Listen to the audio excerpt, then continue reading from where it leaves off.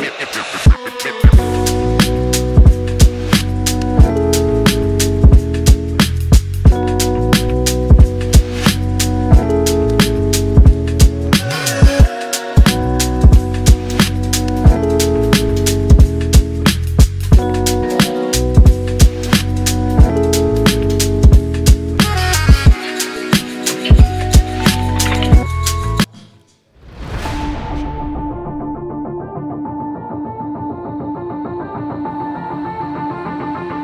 Welcome into the CHGO Blackhawks podcast. Happy, what day is it? Thursday.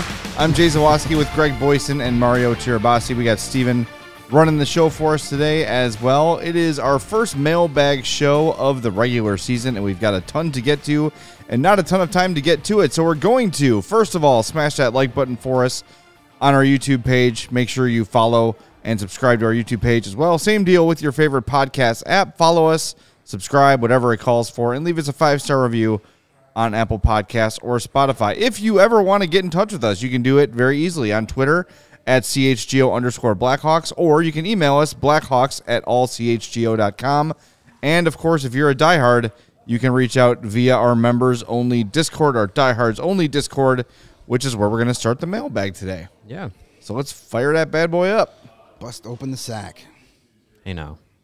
All right, first question from Alexander Faripas. Uh, does Kaiser development or confidence be impacted? If so, how much if he stays up all year? I'd rather have him here and play through the struggles. You guys had mentioned Rockford. By the way, Vlasic for Norris. Well- it's your money. the problem with the Kaiser thing is there's no I mean the alternative is is Nikita Zaitsev. Um, you could argue Isaac Phillips, but he struggled really mightily. Of course, it was one game. It was an 8-1 loss, and everybody struggled mightily. Everyone was bad. Um, but I don't know. I, I I don't think Kaiser's had some real bad moments, but I don't think he's been consistently as bad as maybe it seems. well, and we said before the season um, that having Wyatt Kaiser in the lineup, making mistakes, and hopefully learning from them, and having that be part of his development path would be better than a veteran like Nikita Zaitsev in there making the same mistakes, not learning from them, and costing the team, you know, potential games and stuff like that. So I think it was pretty, to me, it seemed pretty evident that when uh, the Blackhawks needed a defenseman when Alex Vlasic went down, uh, they went to Isaac Phillips and put him in the lineup rather than going to Nikita Zaitsev again. I think that was pretty telling uh, that the plan is to play the young kids and Zaitsev will will keep signing your checks as long as you're here. Yeah. Um, so I'm I'm fine with Kaiser being in the lineup, making mistakes, and living with that as long as there is growth and development from that. And we know how much Luke Richardson loves teachable moments and, and working with you know the defensemen, the young defensemen in those in those moments, working through them through video sessions and stuff like they're doing uh, today. And I think that that can be good if there's no like if there's no spot for him, if there was no spot for him, playing in Rockford makes the most sense. Like last year with Vlasic, you could make the argument like, well, you had Jake McCabe for a while, you had Caleb Jones, like it, you could have put him in the NHL, but you didn't have to. Whereas now it's kind of like, you know, you you could put Kaiser in, in in Rockford, but you could also have him playing those minutes here uh, in Chicago as well. So I don't think there's a wrong answer, but I think he might have more on ice success playing in Rockford because of the the change in competition level. yeah. Yeah, I, you know, there have been some struggles. There's been some good stuff too. It's it, it's not been a complete dumpster fire by Right. any means necessary, but uh, you know, what's more beneficial for his long term development? Is it 13, 14 minutes a night with Zaitsev or Tinordi against NHL bottom six competition most of the time? Or is it 20, 22 minutes a night as the top pairing in Rockford, playing on the power play, getting some PK time in? It might be option B. Yeah. It certainly worked for Alex Vlasic. Yeah, I'm not opposed to it. I, I just right now he's got to be here with Vlasic out. He's got to be here. But I, I trust I trust Richardson and Davidson's judgment on guys, and if they think that it is becoming too much for Kaiser. I think he will, I, and I don't think he's here for all 82. There will be a stint where they send him down to kind of hit the reset button, and they probably want to give Phillips a little bit of a run here too as the season goes on. Maybe we see Del Mastro for a few. Maybe we see Allan for a few if they're playing really well. So there's a lot of options.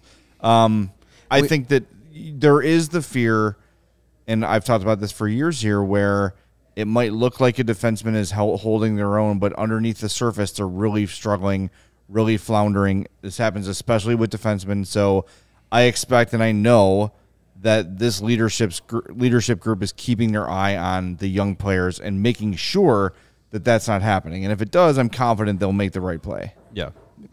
Yeah, I, I don't. I don't think there's, like I said, I don't think there's a wrong answer. So I, I it's it's kind of just comes down to, um, how does you know where does he feel more comfortable? Uh, obviously, I think the the game checks are nicer in the NHL, um, but you know, I, I, I think the meals are nicer. Yeah, yeah. The accommodations are, are nicer. Uh, no disrespect to the Olive Garden in Rockford, but yeah, I, I just think, you know, if if he is more comfortable in those in those roles in those tough minutes, um, and like I said, like you see the development path there. Eventually, those mistakes get corrected, and and and he's not making them. Um, I think that's fine. But it's as someone in the um, comments here, uh, Neil before Sod, heard that before, uh, mentions Duncan Keith, and Duncan Keith took two years of playing in, you know, in, in the AHL before full coming seasons, before yeah. coming up to the NHL and having his own struggles early on in his career. So, you know, d- defensemen take some time. I know we would love for a 19 year old Kevin Korchinski and a 21 year old Wyatt Kaiser, 22, 21, I don't know. These guys in their early 20s to be NHL ready right away, but it it'll take some development. This season is going to have tons of growing pains. We've seen a lot already, so that's just kind of be going to be the norm for this season. All right, what do we got next? Uh, speaking of young defensemen, we've got a question, uh, another question from our Discord from Big Len. For the mailbag, we've always heard that the defensemen need more time to be NHL ready, so give prospects until they are t- 23 to 24 to make it. But over the past few years, more and more defensemen are coming into the NHL and being reasonably successful much earlier. For example, Dahlin, 18 First overall power, pick, first overall pick, 19, and, and now seventh. Korchinski. Okay. Is there some reason uh, more defensemen are NHL ready at an earlier age? Those those are exceptions to the rule. Those are yeah, extraordinary. those are all three good players, that were picked in the top ten. And those were also when you look at Dahlin and Power, those were players that were drafted by teams that also needed them right away. Like Yeah. there was no You could throw Korchinski in there too, probably. yeah, Right, mean, yeah. well, and and then you you listen. If the CHL rule wasn't a thing, Korchinski would probably be in Rockford learning the pro game Yeah. down there. Mm-hmm. So, yes, ideally, 18, 19 year old defensemen are not the norm. No. And just because we've seen, I mean, we're seeing a, a, a, a more extraordinary players overall, not just defense, but guys like Cale Makar, and, and you know we're talking about the young forwards that are coming up. This is like a golden era of new talent coming into the league. Yeah. It doesn't happen all you know all the time. And as Jason says in the, in the comments, Dahlin, it took him a good two to three full seasons before he hit that Yeah. where you're like, oh, okay, now I see why they drafted him number one overall. He struggled too. Yeah, exactly. Just because he played in the NHL at 18 doesn't necessarily mean he was NHL ready. Right. It was just he was a number one overall pick. You know, he wasn't under contract in Sweden. It just, hey, we have a spot for you.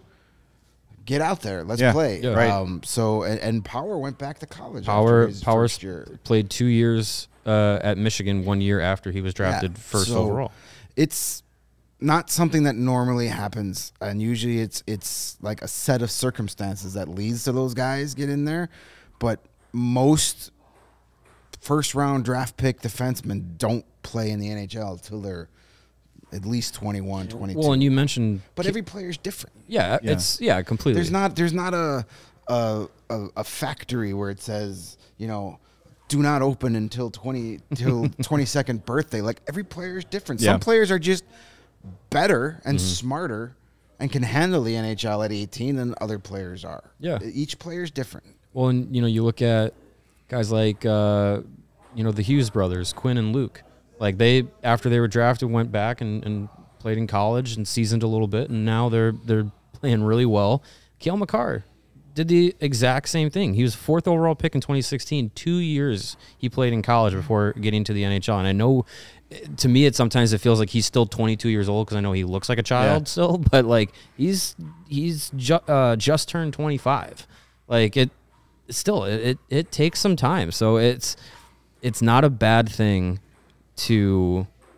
I'd ra- I'd rather have a, a, a defenseman be 23 years old, 24 years old, and be like, all right, they look like a solid NHL veteran now, rather than being, you know, shaking my fist because a kid's 19 or 20 and is like, why isn't he an all star yet? Like, there's Yeah. there's a path. Well, it's also forward. you know different types. So you know Duncan Keith, who was referenced in, in the thing. I mean, he was 50th, 54th overall in the draft.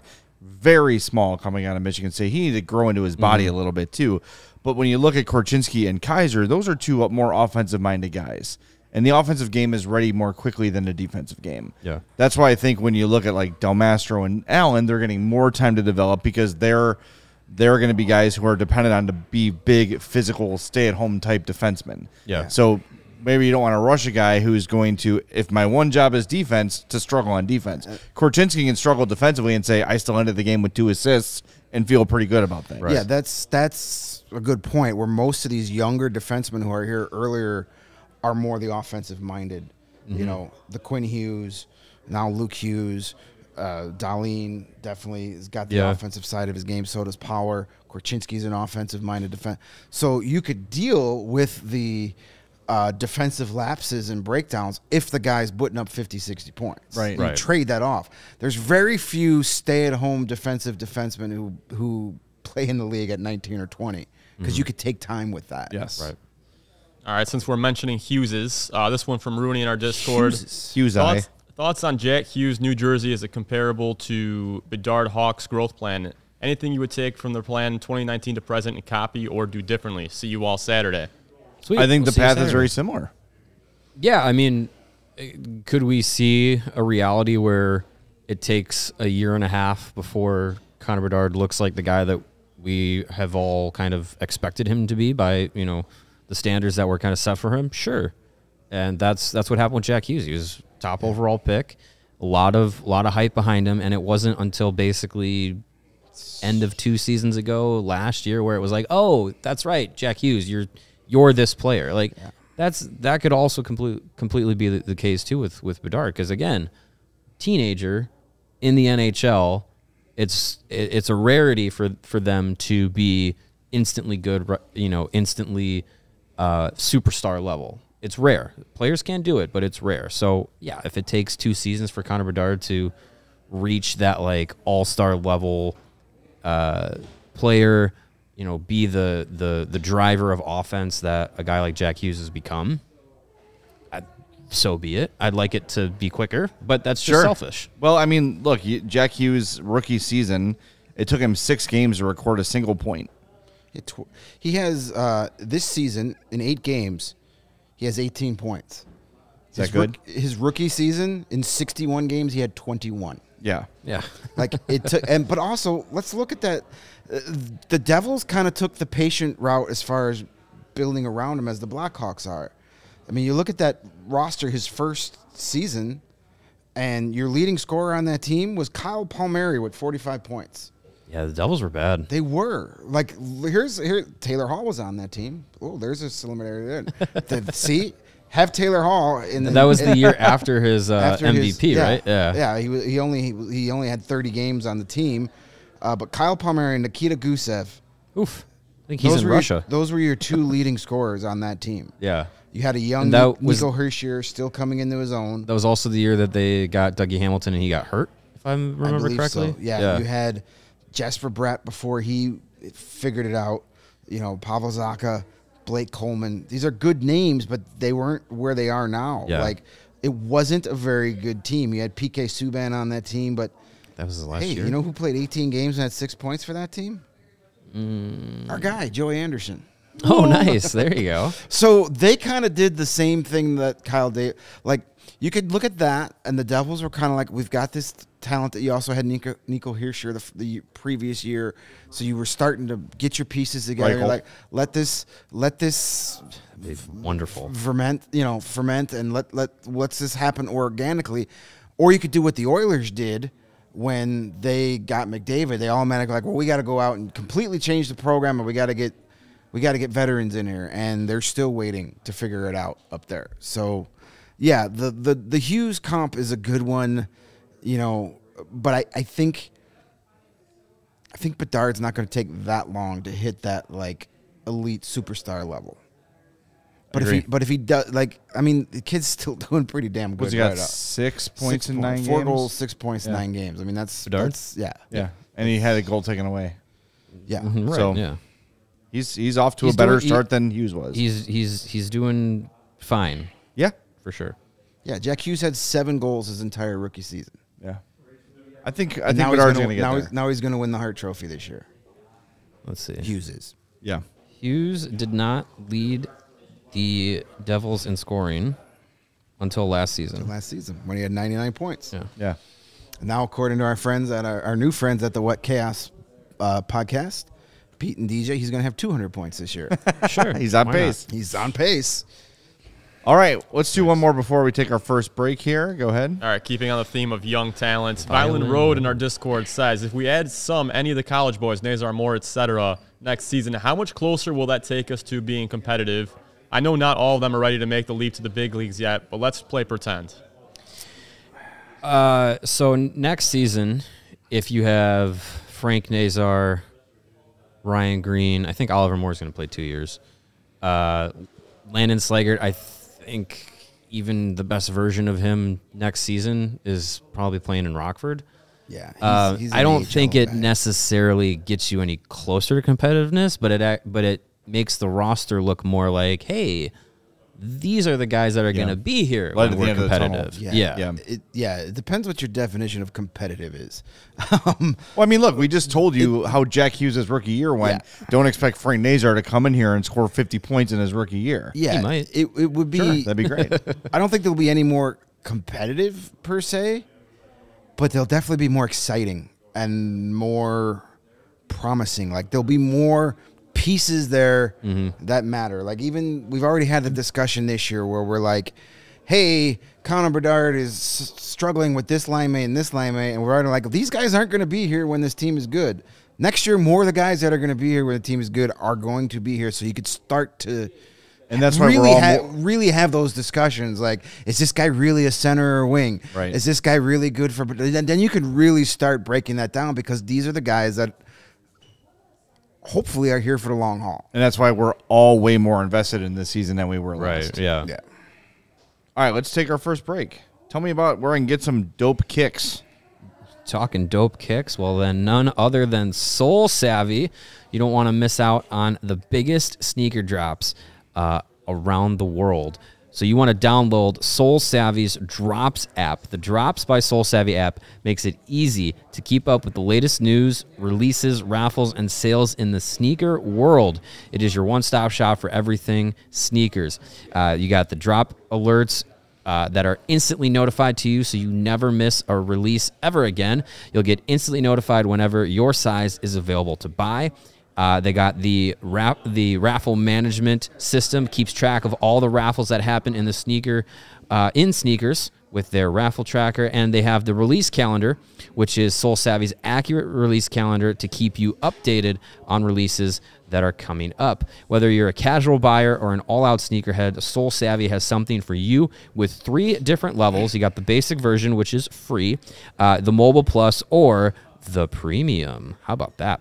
Uh, and just for you, uh, lovely CHGO listeners, this Saturday, November 4th, uh, another reason to keep it on your calendar, the Air Jordan 1 reimagined Royal drops. The Drops by Soul Savvy uh, app will notify you when and where it is dropping.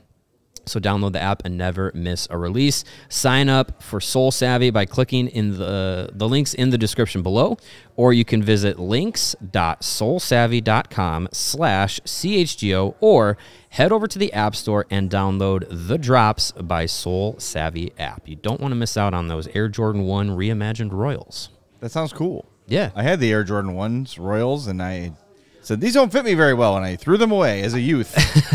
I always Good think to myself, it'd be it'd be cool to have a pair of Jordans, and then I look at the price tag and I'm like, hmm, I don't know if I'm that cool. I also look at myself in the mirror and say, if I put these on, Jordans are immediately uncool. like, I would be the guy that kills Jordans. Cool. That I, guy's then I wearing can actually afford to buy a pair of that. yeah, right, yeah. Tank the Tell me when there's a New Balance drop. yeah. Something Well, with, a Soul- good, with good I'm- arch I'm- support. I was gonna I'm say, when's sure- the arch support drop? I'm sure Soul Savvy will uh, will alert you. Let me know when those there's some picks. Skechers slip-on yeah, arch supports. Dr. Scholl's Royals. They got you covered. All right. Those will be Uh, dropping. Hey, you want some bacon drops in your life? Yes. Every day. Charlie the Bacon Guy is your guy bacon for the best craft bacon in the world. He is based out of Woodridge, Illinois, makes craft bacon and bacon jams in over 30 different flavors. The bacon and bacon jams, they're naturally cured, fancy preservative free product. There aren't any ingredients that Charlie can't pronounce himself. Uh, it's awesome. It is natural, it is delicious. All he does is gets a variety of spices, gets some bacon, mixes it all together. Boom, you got all kinds of great flavors like maple pepper, jalapeno garlic, Old Bay, which we just tried. It was awesome. Rosemary and the Malort, which I'm going to pass on, but Charlie says don't knock it until you try it. And the bacon jams, the original, the bourbon, the spicy. There's all sorts of different flavors dropping all the time. I say this all the time on my other podcast, the I'm Fat podcast. It is the holidays approach, and you're looking for a unique gift to give. Order a couple pounds of some different bacons, give them to the people in your life. You know, maybe you buy a cooler, wrap it up, put the bacon in there. It freezes up beautifully, so you can keep it in your freezer for a while. It makes a really great gift. My wife and I have done it for a couple years in a row, and every time we do it, we win the holidays. You should give it a try too. Bacon jam goes perfectly on anything too scrambled eggs, toast, crackers, burgers, grilled cheese, cinnamon rolls, or just eat it with a spoon. He'll deliver to you, meet you halfway, or even ship it. He makes the bacon so you can bring it home. Here's how to order. Hit him up on Instagram at Charlie the Bacon Guy. Check out the merch there as well. Email Charlie the Bacon Guy at gmail.com, and he's on Twitter at CZ the Bacon Guy. I know his website is coming soon as well. Get yourself some bacon from Charlie the Bacon Guy. We had a uh, Charlie the Bacon Guy weekend last weekend since there Yes, were no did. hockey games. Uh, Saturday night we did the grilled cheese sandwiches with the spicy bacon jam Mm. in the grill, like spread it on the inside of the bread with cheese and grill it up. Fantastic. Some nice hero bread. Sunday we made uh, we made uh, lamb burgers with feta cheese. And then with tzatziki sauce and the shawarma bacon. Mm. Oh, yeah. and Oh. it was amazing. That Just is just a. Greek That treat. good. It was very very good. Yeah, but your house smelled amazing that night. Yes, it does. Until about two o'clock in the morning, Right. and not so much. But it was good for it was good while it lasted. All right. Uh, what do we got? Some more uh, from the. Discord? I All guess I right. got that a lot. Uh, Sports Gal Ali says Kurashev needs. oh, just give uh, him Andreas Athanasiou. Athanasiou is useless on the fourth line. Kurashev needs to stay with Bedard.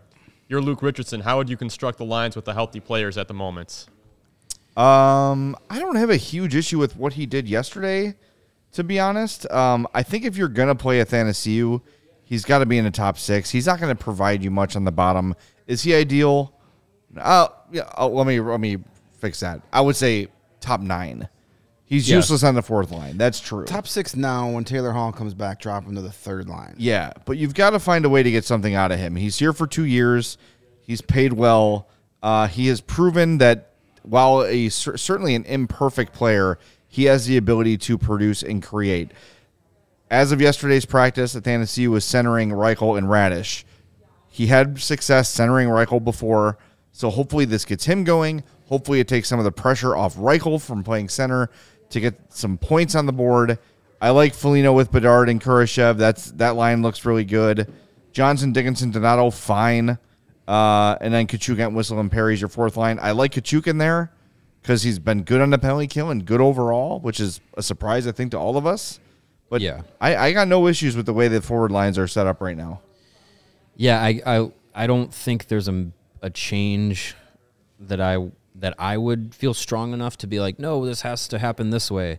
I think Athanasiou at center on the second line. You put Reichel at wing. I think that's the biggest thing in Yep. the forwards group that I was that if I were coaching, I would make that change, and it, it happened. So I think they're they're fine as is, and I think the bottom six, any kind of combination you throw together, I- I mean, I don't think it's going to make all that big of a difference. And Nick Foligno playing on the top line with Bedard and Kurashev, that'll eventually change when Taylor Hall comes back. But I would like to see Bedard and Kurashev stick together because they've worked together so far in the in the time that they played together. So if the health of Hall when he comes back, you have Hall, Bedard, Kurashev on the top. You throw Foligno back with Dickinson and Perry. Uh, then I think you have a question between what do you do with Tyler Johnson, Ryan Donato, and Whistle and Katchouk because you can only play you know three of them, and it'd be weird. But like Ryan Donato, kind of where does he go? Like does, he's not like a fourth line guy, but it's kind of becoming like what's what's his spot if that third line is Foligno, Dickinson, Perry at full health he's only kind of he's kind of going to get stuck in the fourth line. And if you move Raddysh down, well, he's not a fourth line player either. And you also have Blackwell coming back Eventually, and Hall coming back. yeah, And it's like, uh, it's it gets it, it gets a little weird. Yeah. it gets a little weird. And if Athanasiou and Reichel work in the center wing positions that they've kind of flip flopped now. uh, The, the the I know we talked a lot about like oh we have there's a lot of flexibility for Richardson to, to work with and there is but also once you kind of solidify these spots there's going to be some awkward like a guy who should be playing third or second line playing fourth line and you, it's a different role that they'll have to play. Yeah, I, I like Donato on the bottom six though. He's been much more effective playing third or fourth line, however Yeah. you want to call. It. I mean, I, I like to go top six, bottom six, as opposed to like one, two, three, four, because third and fourth lines are kind of interchangeable. I mean, when you had Foligno, Yeah. Dickinson, and Perry, that is a third line that plays like a fourth line. Right. Yeah. So, you know, even if it, but Donato's been pretty good since getting off that top Yeah. line. I think he was a little too much for him there. Um, nice Yeah. idea, but it, he was overwhelmed, and I, I he's better fit suited for that bottom six energy grindy kind of line, and he's been pretty good. I mean, he had the goal the other night, and you know he's been around the net, so I, I like him back on that bottom six role. I mean, it's we're I know we're gonna get more into Reichel and, and Bedard here in a minute, so let's uh, hold off on that. Yeah. that thought. yeah. All right, before we get to Reichel and Bedard, this one from Alan K in the Discord. I haven't seen him in the chat yet today, but he's here every day. What the hell, Alan? Come on, Alan. This season, I've noticed the NHL app not being updated with team-specific content Oh, like did. post-game interviews. Teams, especially the That Hawks, have separate team-specific apps that are pushing hard and getting more content. Why all these changes? Is there awareness that the Hawks and at an NHL, uh, is there awareness at Hawks and at the NHL that digital fan experience has taken a hit this year? Why are Hawks slow to add content to their own YouTube channel? Thanks for all you do. I wish I could really It's a good those. question. I'm not in charge of app creation, but whoever is uh, for the NHL, um, I wouldn't put it on your resume. That No, app, it's That horrible. app It- is so not so do it- unfriendly to the user. You do it like right before the season begins. You've got a million pages that are on Google that are now bad gateways because they've changed everything. Do that in July and then figure it out before the season begins. It's horrible. I can't access uh, the event report or the game summary on Google Chrome. Oh, no one uses Google Chrome. I don't know. That's that's on don't- you because mine works. I, I, it's weird. I don't. I can't figure that out. Uh, but like, it's the only website that doesn't work for me on Google Chrome. Yeah, I've I've started use I've started going to the E ESPN app to get NHL stuff, which I I, don't never even thought I'd the, do. I don't look at the NHL app except for scores. I do have to admit the NHL website in-game thing is better than it was because you don't have all them little frames and different. Yeah. True. That The in-game, it like, it game center or whatever it's called. Yeah, the game center page is better. The app sucks App's terrible. because you go on the app to look at the scores and like you check it and then 10 minutes later you go back and it's the same where it was like it doesn't Automatically refresh. refresh in, Yeah. in real time you have to like pull down twice to get it to refresh that's so annoying An app now in this day and age, if you're watching a checking on a game that is happening, you should be watching the tick time tick in real time. yeah yeah, Like every other sport can do that. I, it's I don't know well, what was wrong with it last year. I It was fine. it wasn't great, but it worked. it wasn't great, but it wasn't this. better than it It is. functioned. Yeah. Yeah. That's usually the key the app, feature. I've been on the app so little this Yeah. year, and usually I'm on the app all the time. Mm-hmm. At least with the old one. While, as I said, the actual game center on NHL.com is better because I use that. Obviously, we use that a lot, being you know in the press box and watching the games. That's better, but the app is like it's it's bad, really Like, bad. It's, I'm just I'm using it. I'm using it bad. now, and I'm like, if I wanted to, if I wanted to see the schedule for the Blackhawks, I have to go to Team Blackhawks, and it takes me to a completely different different app. Yeah, it takes you to the Blackhawks app. Uh, like, what are you, like? Why are you here? You're just making the experience You're more in the way. Is the Nikita, Nikita Zaitsev playing defense of apps. I have a question from Sure. Steve from Cicero. Uh, I forgot to send it in. so as we watch Nikita Zaitsev, it feels like he is like not even considered. Like even during practice, it's like him and everybody else. It just it's weird. There's like a weird vibe about him. I don't know if it's a language barrier thing. Would you rather be hated or completely irrelevant? I mean, Would you rather people say this guy sucks, I hate him, or would you rather be like, who's that? Who's that I guy? think- As I long as it comes with that four point five million, I million guess Yeah. paycheck, I don't right? care. I mean, it, he's cashing checks no matter what. But yeah, I mean, as as NHL players, they want to play. That, that's that's the biggest thing uh, to, to to these guys. But you know, I just uh, like I said, like I like I said before, like when Vlasic went down, they brought up Phillips and put him right into the lineup. It wasn't even like, oh, Phillips is here. Yeah. we're gonna rotate. You know, Tinordi, Zaitsev, Phillips. We'll see what the bet. No, he went right yeah, in it the was lineup. like he played Like leap- Friday, Saturday, leapfrog. flew out to Arizona Sunday, was in the game Monday. Yeah, I just uh, to me it just seems like uh, Zaitsev is, is is not going to factor to for this team unless there's on you know, knock on wood, a slew of defensive injuries. Yeah. Uh, people saying uh, Evil Bills says why don't they not buy him out already? He's just taking up a roster spot for a young guy. You can only he's buy actually, out- He's actually not taking up a spot though. Like he's he's not playing. sitting. He's a seventh defenseman. Yeah. You don't want Isaac Phillips up here as your seventh defenseman. That does no one any good. No. So wherever the if it, be it Kaiser, be it Phillips, whoever, that player has to be playing. Mm-hmm. Which is why when they call Phillips up, he's not just there to hold a roster spot. He's Right. gonna play. They don't care about Zaitsev. After this year, he's gone. They're not gonna resign him.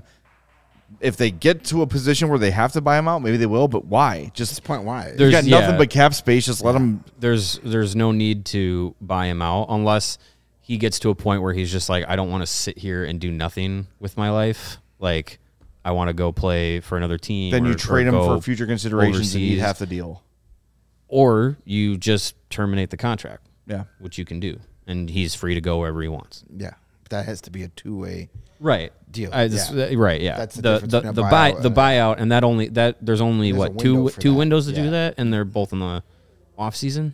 I think. Yes. One's, Yeah, I know one is for sure in off-season. You can't. No. No. Um, No. But if he wanted to, if he wanted to explore other opportunities, you could you could terminate the contract, and he's free to go wherever he But does he want to walk away from a four and a half million dollar contract? Because whoever signs Well- him is going to sign into a minimum deal. yeah, but okay. but Let's, he gets to play. But let's just say like like I, I know he's Russian. Let's just say for instance, he gets an offer to pl- be like, hey, you can go play for a team in the KHL for the same money, and you know get go get to play, or do you get to sit for do nothing but get to make the same money? Like, sure.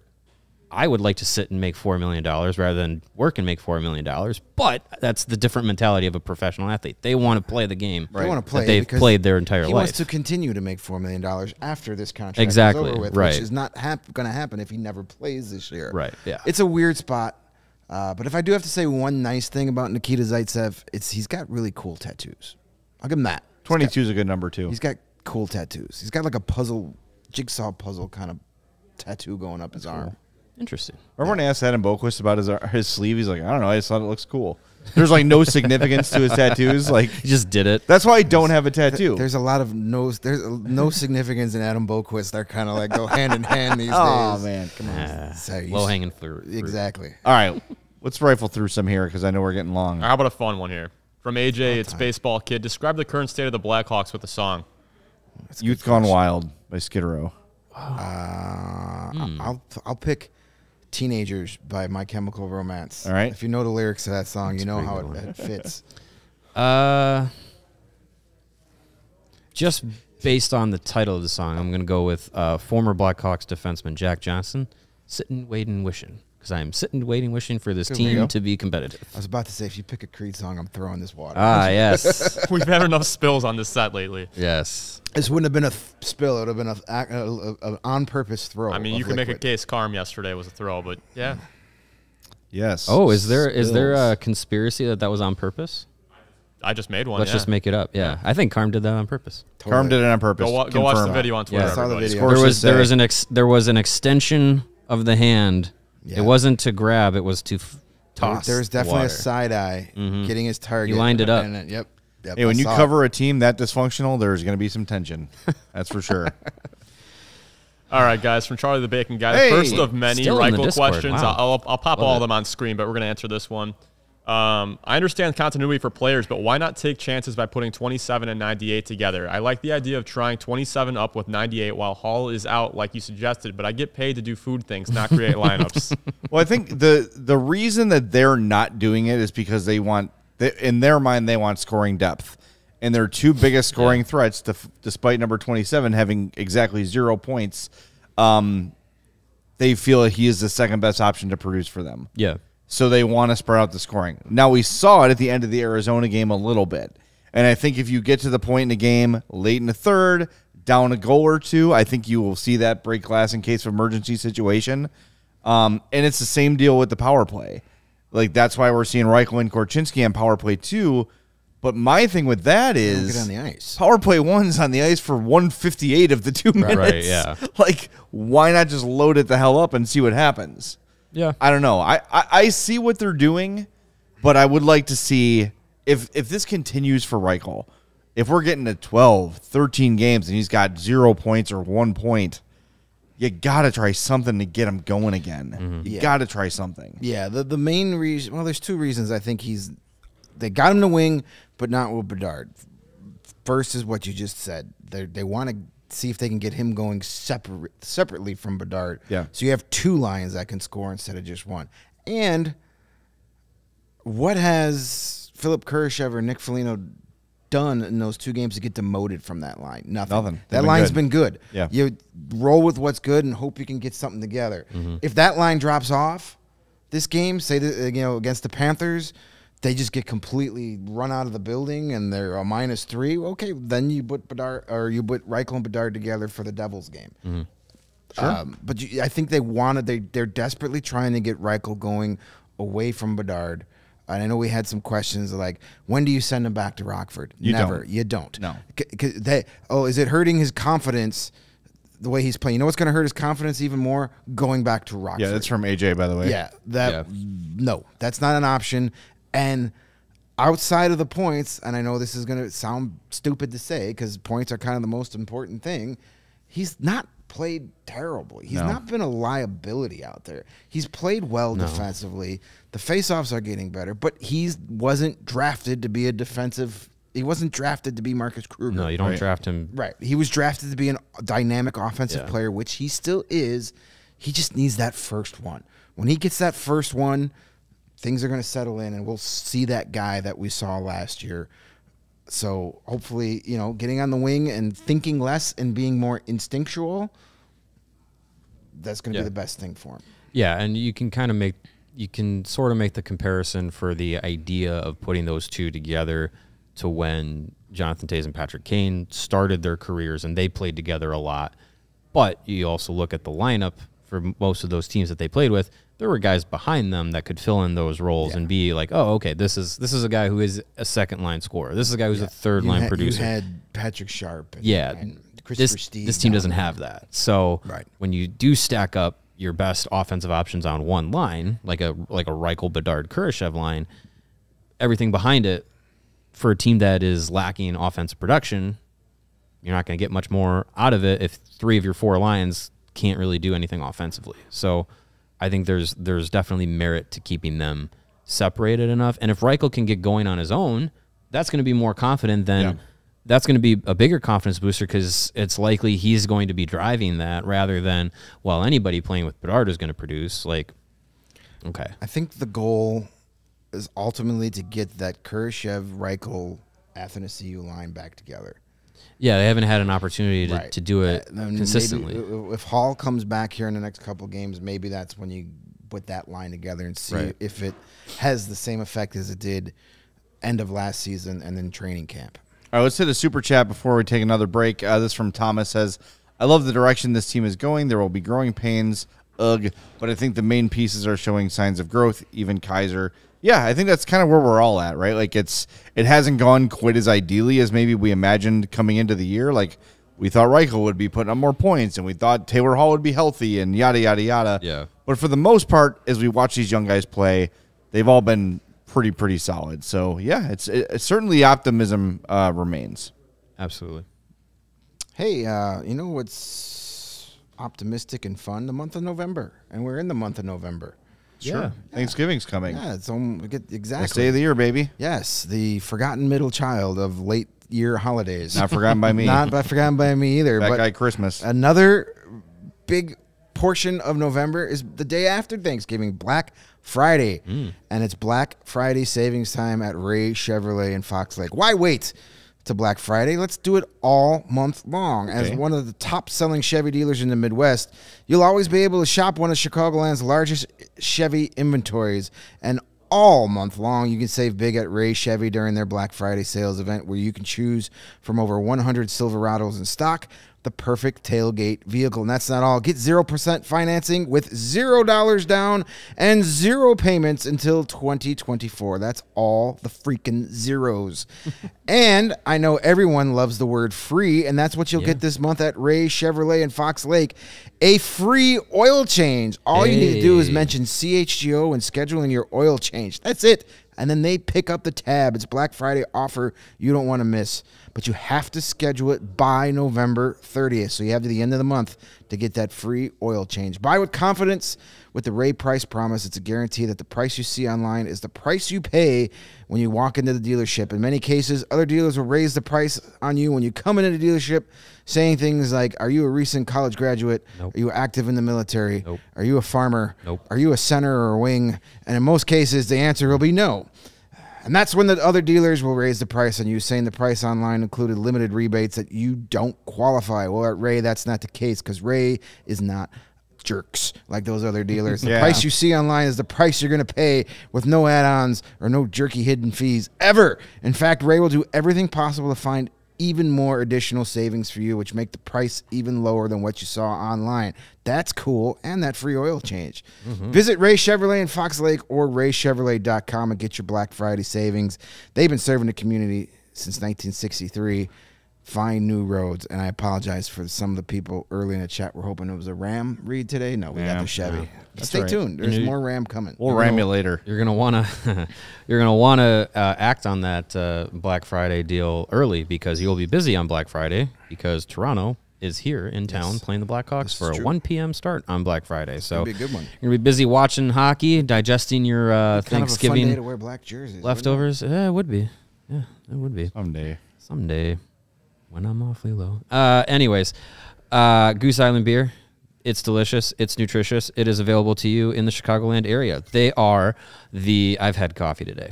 Uh, they are the proud beer sponsor of us here at CHGO, and they have been Chicago's beer since 1988. And they have a tremendous year-round beer roster for you to choose from, choose from, and enjoy. They got the full pocket pills, the everyday beer the Goose Island beer brewers are drinking. You have the uh, entire family of Beer Hug IPAs, uh, just not the one that Herb spilled yesterday. and you have the 312s, the wheat ale, the golden cans, unmistakable uh, in the year round lineup for Goose Island. And uh, to celebrate two of the sports teams here in Chicago, Goose Island has the Bull and Goose West Side Ale celebrating the Chicago Bulls, and of course the Blackhawks Pale Ale available to you. And as it is uh, almost Christmas time for some people, normies, uh, you have the Christmas IPA from Goose that is going to be hitting the shelves very soon. So keep your eye out for that. You can get all of these ultra fresh brewery exclusive beers, and more when you go to Goose Island's original brew house on Clybourn Avenue in Lincoln Park, or you can go to their tap room on Fulton Street in West Town. Again, that is the Goose Island Beer Company, Chicago's beer. Good stuff. All right, let's get through some of these here. I know- know we have a lot. Let's see if we can ri- start rifling through a little Rapid bit. fire. All right, this one from email from John.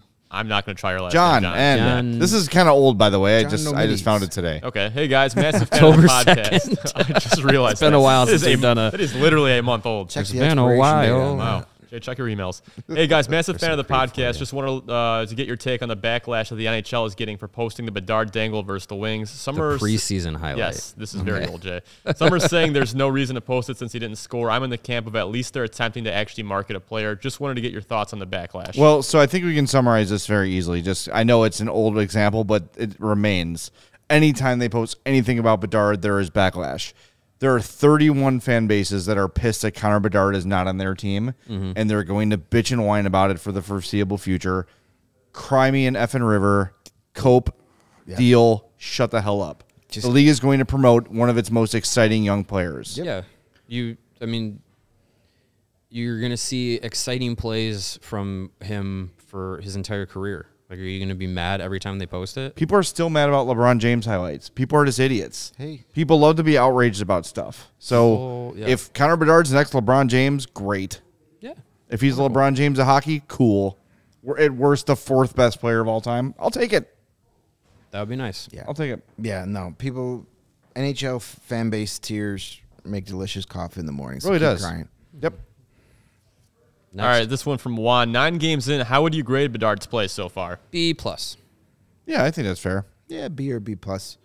Been pretty been much good. as advertised. He's been pretty good. He's been good. There's some things that you're like, eh, you could do that a little bit better, but he's going to. Like it's nine games from an 18 year old kid uh, with, you know, questionable talent around him. Yeah, and So- and for me, it's it's not even that like he needs to do a ton of things better. I just think there's things he's just going to learn at the NHL level and will eventually adapt to. Yeah, and A would be point per game. A- So, like, yeah. holy shit, this kid's already one of the best players in the league. Yeah. Which was not out of the realm of possibility coming into the year. But there have been some growing pains. But, I mean, other than that, he is. Has he been the best Blackhawk consistently? Yes. Yeah. Is he their biggest threat to score all the time? Yes. Is he a threat to score every time he's on the ice? Yes. Yeah. So better at faceoffs. I would like to see him shoot a little more, which Luke Richardson has said too. Um, but aside from that, yeah, His response every time someone asks him like About shooting. about shooting is, is he goes to that. Well, I don't consider myself just a shooter. Okay, but sometimes you can. It's Yeah, it's okay. okay to it's do it. okay if you want to. Yeah. we ain't gonna be mad at you. yes, exactly. All right, let's do another one. All right, another one from Juan here. Uh, he says, "How high do you think the organization is on Vlasic?" I think they love him. Pretty high. I mean, he has been. I, I mean, as much as we watch him and love him, think about how much they are seeing. You know, watching the video, they moved him up to the top pair. He's he has everything they dreamed he would be when drafted. They didn't draft him for the record, but everything they dreamed he would be. Yeah, wasn't he a Bowman pick? Oh yeah, yeah, Yeah, yeah, yeah. yeah. They. Oh, I didn't say the first name. I was talking about Scotty. Scotty. Uh, yeah, Um, that was specifically. yes, the 50 previous previous front office did not pick him, but yeah, Yeah. So, uh, but it was kind did. of a, hey, if this guy, if this guy, you know, develops, he could be really great. I think he has developed as good or better than they had hoped. I think he's right Faster on track. too. Yeah. I think he's right on track. I mean, three years of college, and then you play a, a, a year of, you know, minor AHL hockey, and then you're an NH, you know, you become an NHL regular. Like that's a perfect track. Right. Yeah, but I Yeah, mean, to be but to, to be a f- top pair guy Yeah, top pair, and quick. like not only. I mean, yes, He's if- a top pair on this team. sure, but he's also holding his own as a top pair guy. Yeah. Oh yeah. Like he's not true. he's not struggling at all. So yeah. Yeah. he's been really really good. Of course, he's on the Avalanche. You be third pair or whatever, but still, I he mean, might be in uh, wherever the Colorado Eagles. he's very play. good. Super chat here from uh, Young Dangle God. Kyle Davidson, grade F because he hasn't signed Kaner yet, and of course he Thank you chips for in your his dollar. dollar. You gave us one yesterday too. We forgot to get to it, but thank you. Staying on brand. That's tough. That's tough on Davidson.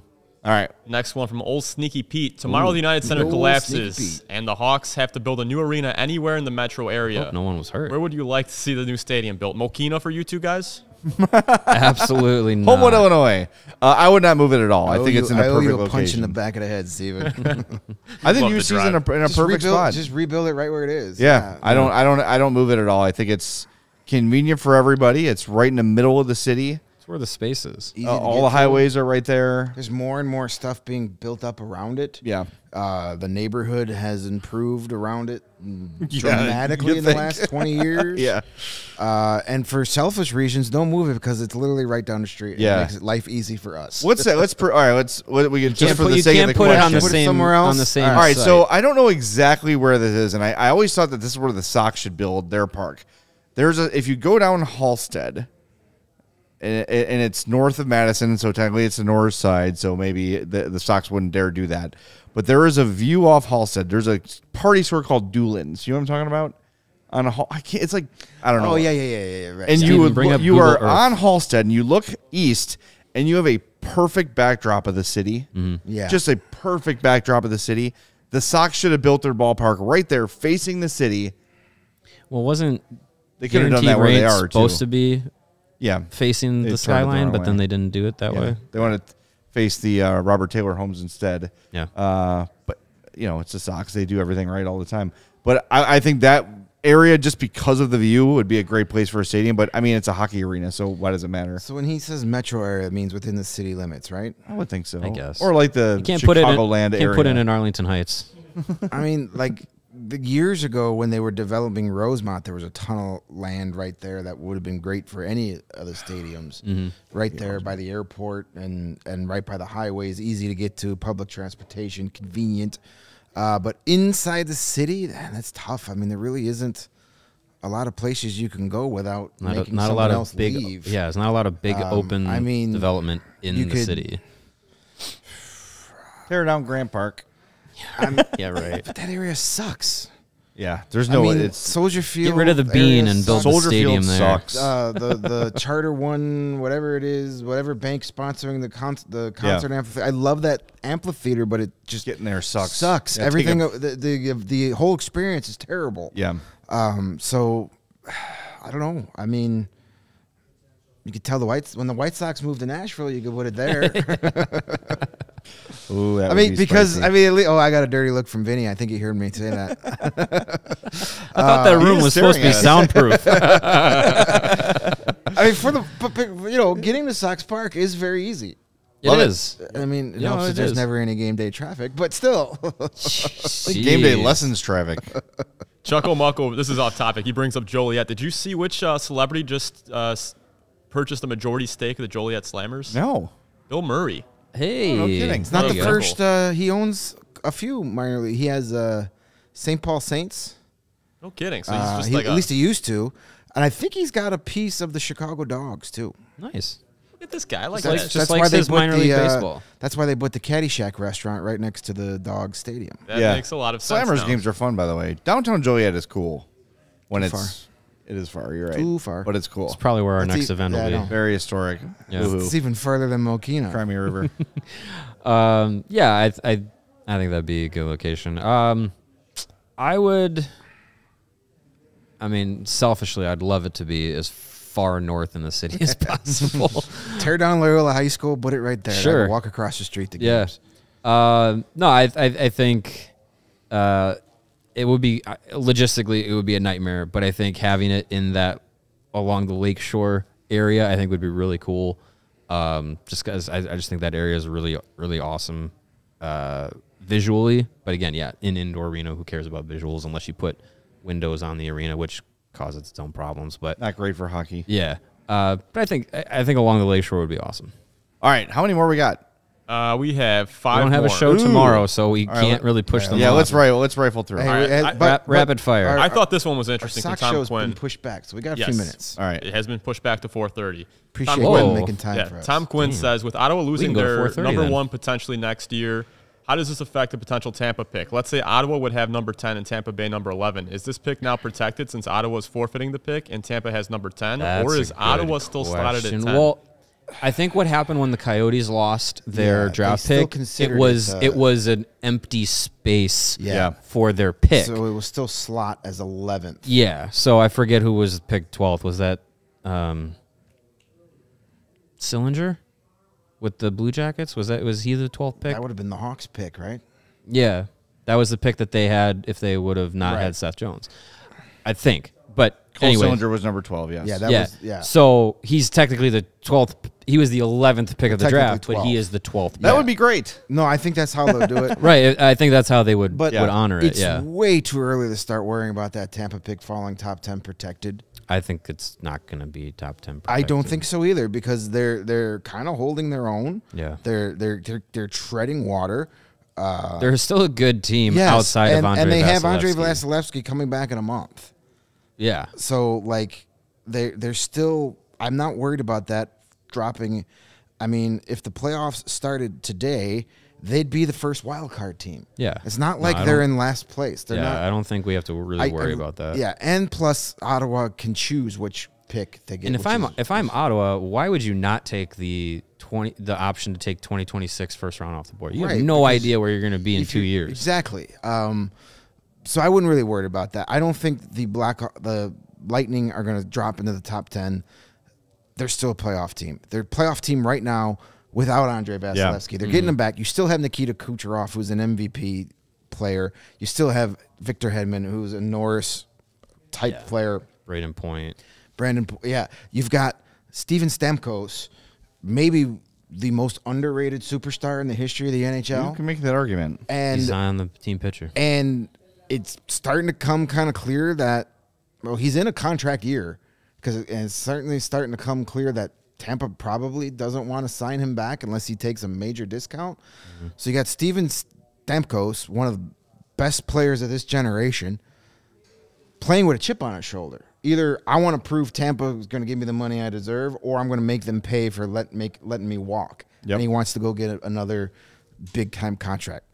Eight points in seven games for him. Tampa's still making the playoffs. Like, it, don't worry about the, that pick slipping to be like ninth or eighth. Yeah, it's just don't- happening. No. All right. All right, this Next. one from Bears and Hawks with the elevated play in Vlasic and Kor- Vlasic and Korchinski, giving up, uh, giving us three projected top four defensemen. Should the Blackhawks change their draft strategy to best player available, or stick to best defenseman with the first pick? They're in best player available mode. Yeah. Yeah. No matter what. I don't if it's a think- defenseman, wonderful. Yeah. If it's Macklin Celebrini, wonderful. Yeah.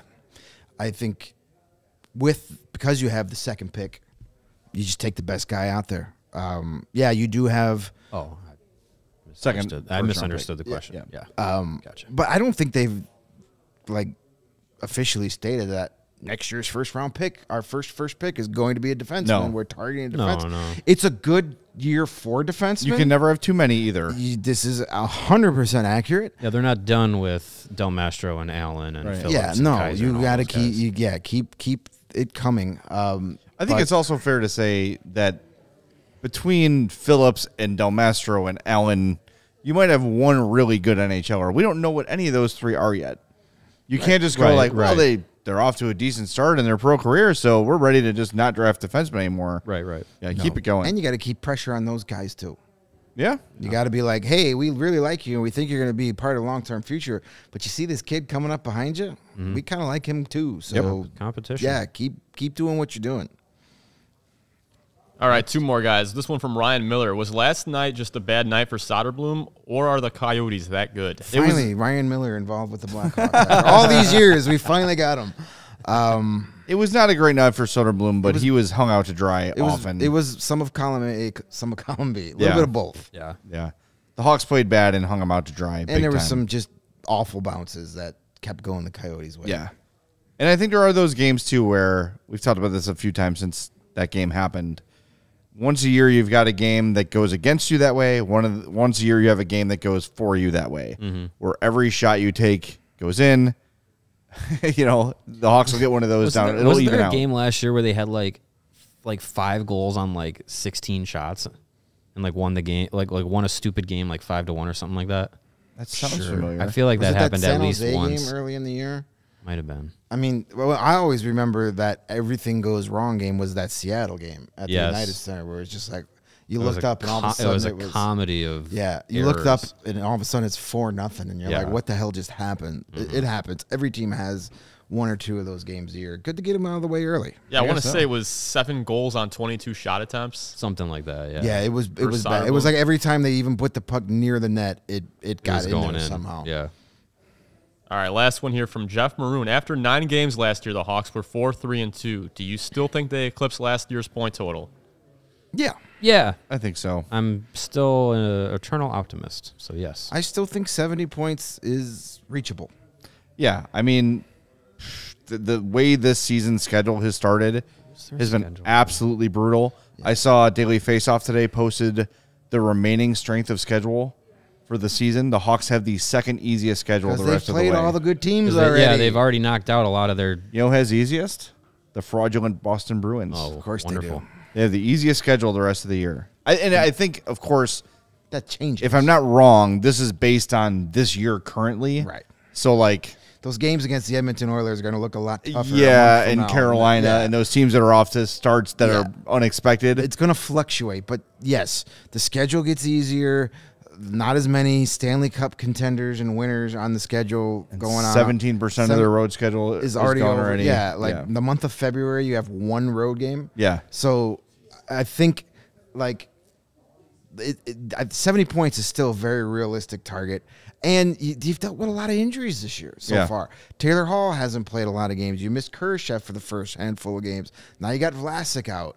Like it's been a rough start, and they're still outside of two. You know, outside of one game, they've been in every game. right. First nine games last year at Colorado, at Vegas, at San Jose to start. Then you got four at home. It was Detroit, Seattle, Florida, Edmonton. Then you were at Buffalo, and then you were home against middle, Minnesota. So some still some good teams that Yeah, were in there last year. a lot of more middle ground there, though. Yeah, too. It wasn't got back-to-back to back. Detroit, Seattle, It wasn't un- Florida, four Minnesota. undefeated teams in a row. Yeah, right. right. I mean, it's the NHL. Two out of your three, every three games are going to be against good teams. Yeah, Like, Right. usually. so yeah, but this was a ridiculous start to the season. So uh, this will still be an improved record over last year, just because the team is better. Yeah. We haven't. I think top top to bottom it is. Yeah. Of course it is, and we just we just haven't seen it yet. They haven't gelled because of injuries, because of tough opponents. They're gonna get their act together. You're, we're gonna find the right combinations that start to work. Mm-hmm. The power play is eventually gonna start scoring goals. Lukas Reichel is eventually gonna start putting up points like we know he can. Like it's it's we've played. We still got almost ninety percent of the season to go. Yeah. Long way for things to right. You know the ship to right. And it's like you said, like it, the start has gone as tough as you can imagine with the injuries and the lack of scoring from Reichel. It's going to get better. So yeah, I think seventy is certainly attainable.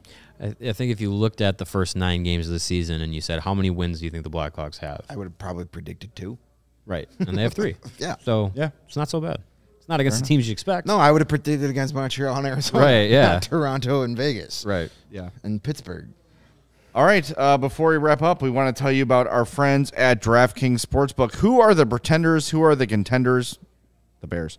We're more than halfway through the NFL season, but DraftKings Sportsbook is still pumping out unbeatable offers every single game. New customers can bet just five bucks on anything to get $200 instantly in bonus bets, and DraftKings isn't stopping there. All customers can take advantage of a sweetener offer every game day this October. Get in on the action with DraftKings Sportsbook, an official sports betting partner of the NFL. Download the app now and use code CHGO. New customers can bet just $5 on anything to get $200 instantly in bonus bets only on DraftKings Sportsbook with code CHGO. The crown is yours. Jump on the Bears. They've got some bad quarterbacks coming up. I'm predicting a 500 For, streak for coming them or, for who they're playing? yes. Oh, okay. Gambling problem. Call 1 800 Gambler or visit www.1800Gambler.net. In New York, call 877 8 HOPE NY or text HOPE NY 467 369. In Connecticut, help is available for problem gambling. Call 888 789 7777 or visit ccpg.org. Please play responsibly. On behalf of Boot Hill Casino and Resort, Kansas, licensee partner Golden Nugget, Lake Charles, Louisiana. 21 plus, age varies by jurisdiction, void in Ontario. Bonus bets expire 168 hours after issuance. See sportsbook.draftkings.com slash football terms for eligibility and deposit restrictions, terms, and responsible gaming resources. All right. That's going to do it. We're back tomorrow. No, we're not. No, we're not. We're off tomorrow. We're back Saturday For our with our takeover takeover. event. Yeah. Hawks Yes. and Panthers. If you've not gotten information about the event yet, it's coming. We are wait. The all city is waiting for the Hawks to send the tickets, and then we'll send one email with all the information. I believe they have the tickets to the game. They're waiting on the passes for the fifth third mm-hmm. experience, and they're waiting to get them all, so you get them all in one shot, and there's less confusion. Yeah. Yes. And we will say that everything starts around three o'clock At the barn the barn on hockey Ogden. bar on Ogden. Just be at the barn at three, and, we'll take it from there. Yeah, we'll be good to go from there. We'll That's do it. a little happy hour, and then we'll head over to Fifth Third eventually, and have some Fifth fun. third is four thirty to six thirty. and then we'll go to the game and have some more fun. Exactly right. So we'll see you then. Can't wait to see you at the UC on And- Saturday. Post game on Saturday will be delayed. Yeah, we're all going to come back after the game. Uh, Greg included, who will be in the coverage role, and uh, we will. Will all three of us will be here for post game. So look for it. You know, 20, 25 minutes after the final horn, I Yeah. would say. All right, we'll talk to you then. Thanks for being here. Thanks for all the great mailbag questions. Thanks to Steven for running the show. We'll talk to you Saturday on the CHGO Blackhawks podcast. We all silly like the mayor.